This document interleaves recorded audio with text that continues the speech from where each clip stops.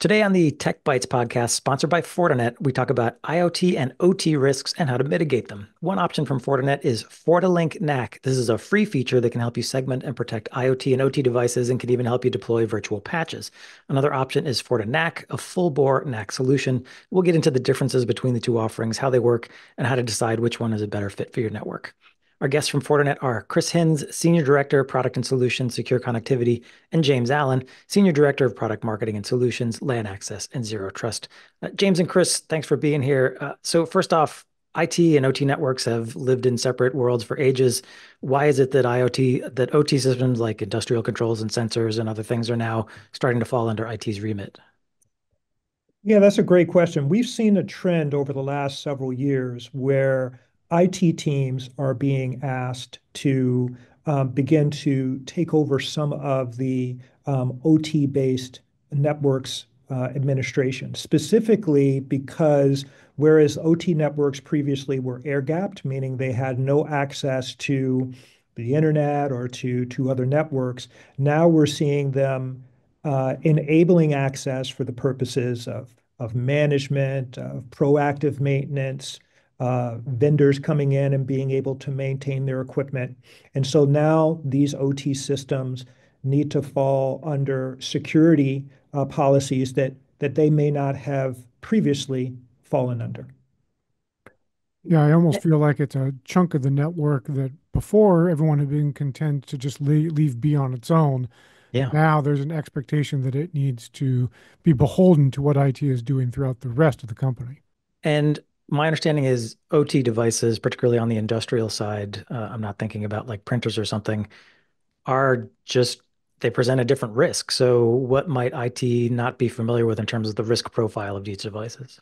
Yeah, they're they're very they're dealing with very sensitive environments, as you can imagine. I mean, manufacturing floors, um, but then they're also dealing with you know the things that affect our day-to-day lives, water treatment plants, other areas where you know, something going wrong in those environments can have a, a, a very negative effect. So when you look at the need to protect these environments while still enabling them to perform at the best of their capability, looking at the network and providing appropriate segmentation and and and looking at these devices and their and their uh, patch levels is key.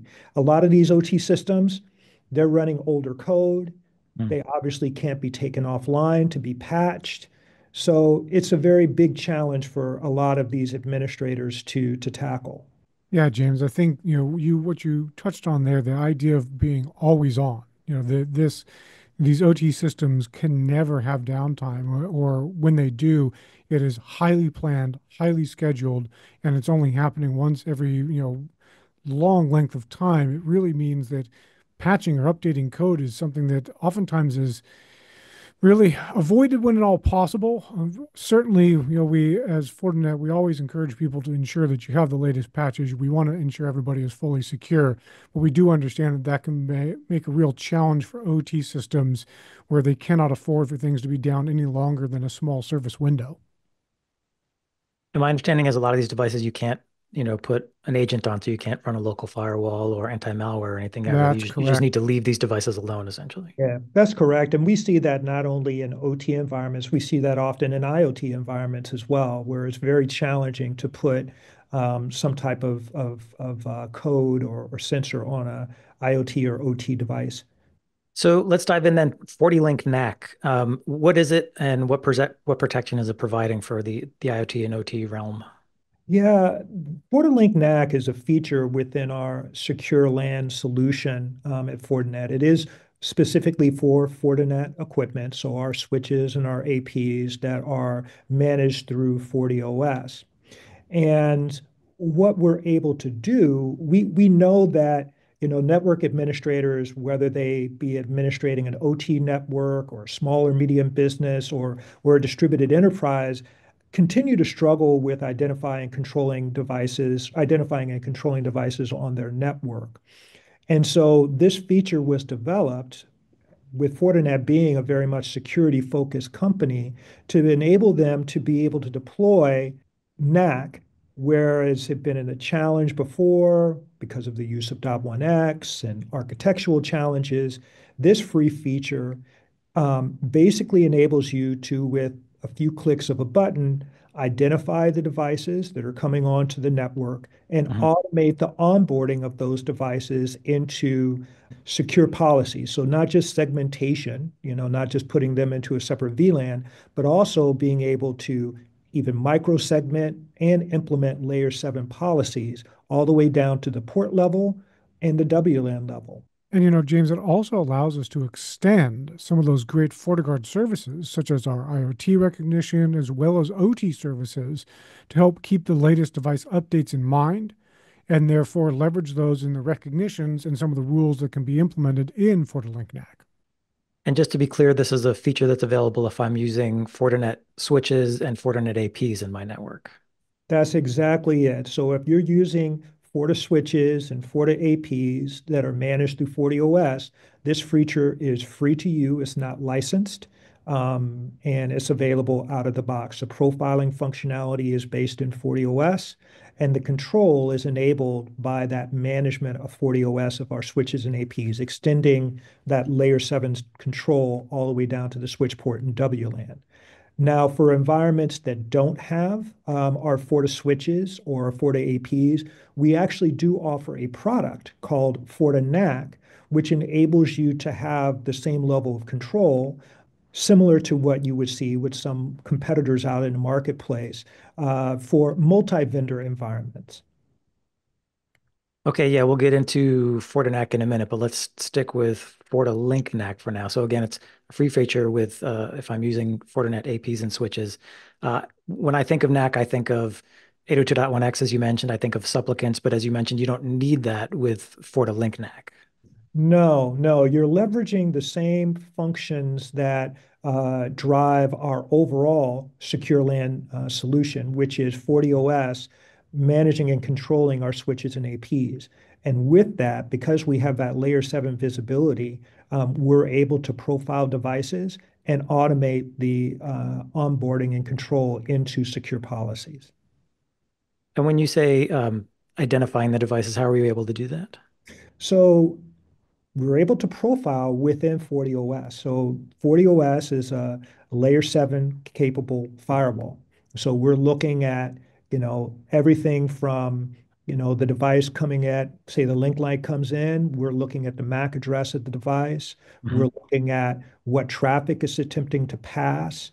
We're looking at even things like its DHCP uh, request, and we're determining what that device is based on that. We also, additionally, for for the carpeted space, um, there all those profiles are built in. When you start to move into OT, because there's such a, a plethora of devices out there, we actually have a service as part of our FortiGuard OT service that enables you to identify even more devices specific to an, an OT environment. But basically, it's profiling that is part of uh, the FortiGate uh, that enables small and medium businesses and distributed enterprise to uh, um, enable this technology in the carpeted space. So I mentioned virtual patching in my intro. What what is virtual patching and, and how is it applied to my use of FortiLink NAC?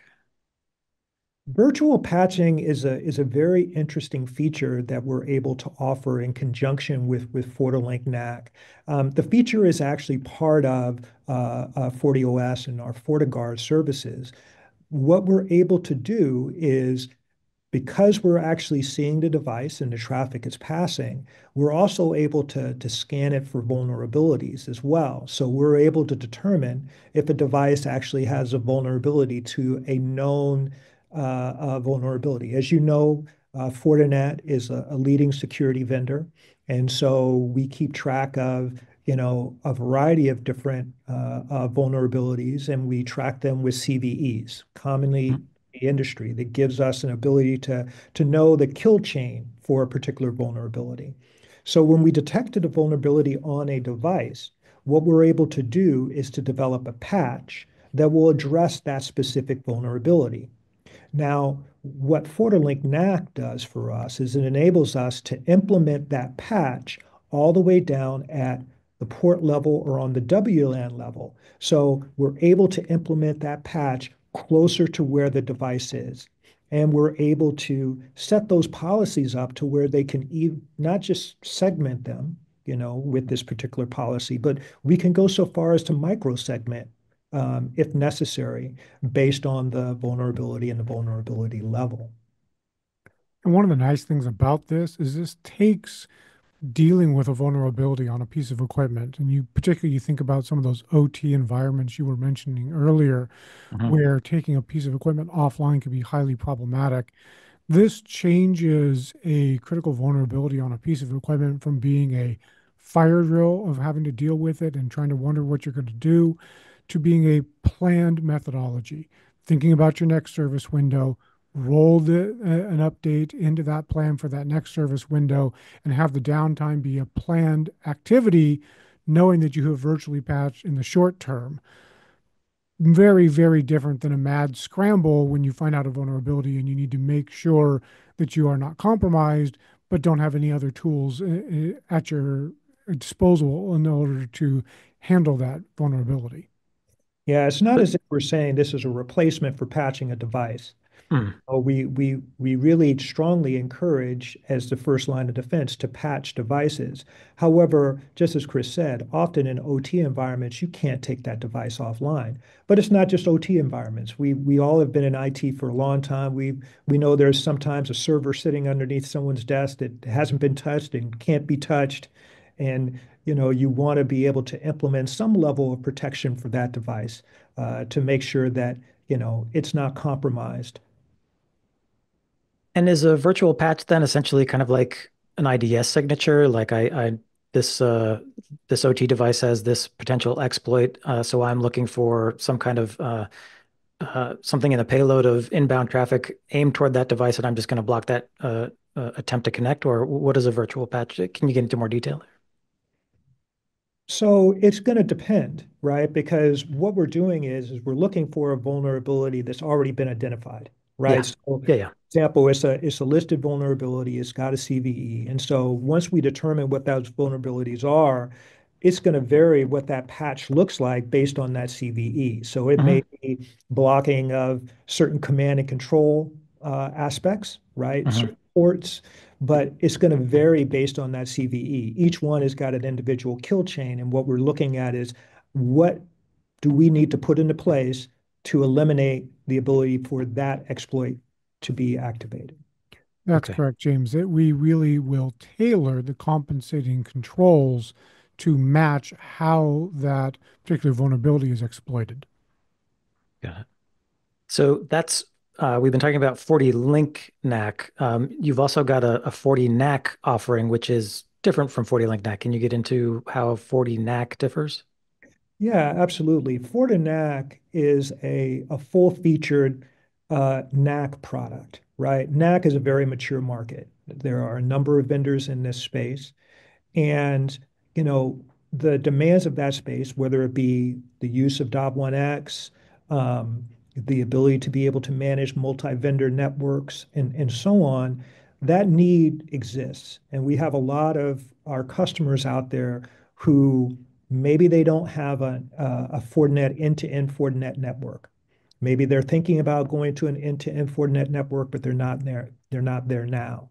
Um, we also have customers, OT customers, for whom that is just not going to be realistic. They have, you know, a variety of different switch vendors and, and so on that they may be using. Mm-hmm. For that purpose, FortiNAC gives them the ability to have that level of control and, and integrate them into our security fabric. So we're able to do additional functionality like virtual patching, but then the patch, rather than being implemented on the switch port or at the WLAN level, is there at the at the firewall itself or at FortiOS level itself.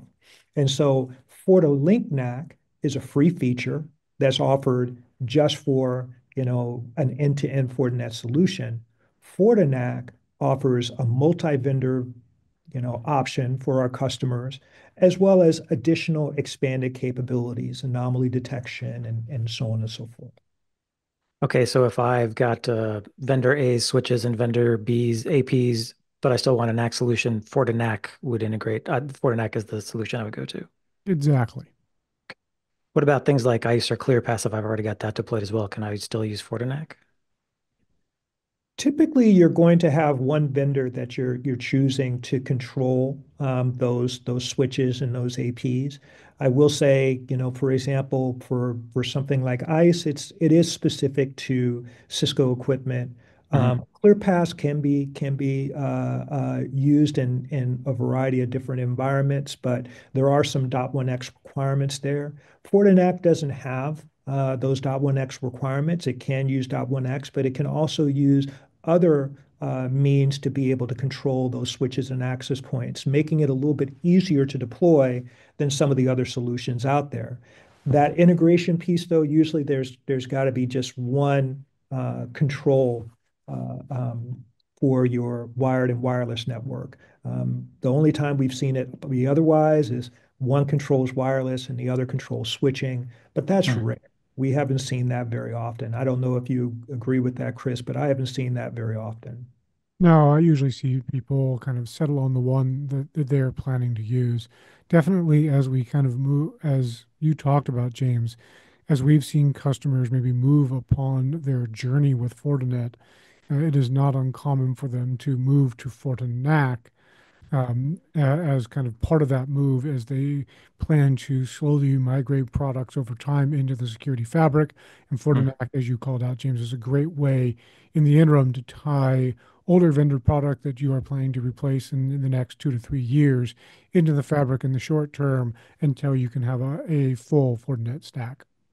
We've also seen it go the other way, where we've seen customers who have initially implemented FortiLink NAC across their enterprise. And, and then they look to or looking for some of the more uh, additional features that perhaps FortiNAC uh, um, offers and have upgraded um, from FortiLink NAC to FortiNAC. Um, perhaps, you know, they've they've become larger or they've integrated um, another company or something along those lines. But we have seen that transition as well, where people go from the feature to the product, uh, um, depending on what their needs are. And just to clarify one last point, the virtual patching I can get with FortiLink NAC, but also FortiNAC. Yes, it just all comes down to where the patch is deployed, right? The patch is deployed in a FortiLink NAC uh, scenario. That patch is deployed as close to the edge as you can get. It's deployed on the switch port or on the WLAN. Whereas mm-hmm. when we're looking at it from a FortiNAC perspective, it's deployed at the FortiGate. Um, so depending on where the FortiGate is placed in that scenario is where the patch would be implemented. Well, James and Chris, we're at the end of our time together. Uh, if folks are curious about FortiNAC, FortiLink NAC, or anything else, where should they go? Well, we would highly encourage you to go out to our website, uh, www.fortinet.com slash LANedge and that will give you uh, uh, a wealth of information about this feature as well as the overall solution from Fortinet. All right, that's fortinet.com slash LANedge. We'll have that link in the show notes. Also, um, for folks who may not be familiar with uh, Fortinet's switch and AP portfolio. We also did a Tech Bytes on that, so we'll drop that link in the show notes as well if you want to go get uh, all this information. But uh, in the meantime, thank you, Chris and James, for joining us, and thank you to Fortinet for being a longtime sponsor. Sponsors do make everything we do here at Packet Pushers possible. Uh, speaking of everything we do, you can find this and many more fine, free technical podcasts and our community blog. It's all at packetpushers.net. Uh, you can hear us on Spotify, and if you would leave us a rating on Apple Podcasts. And last but not least, remember that too much networking would never be enough.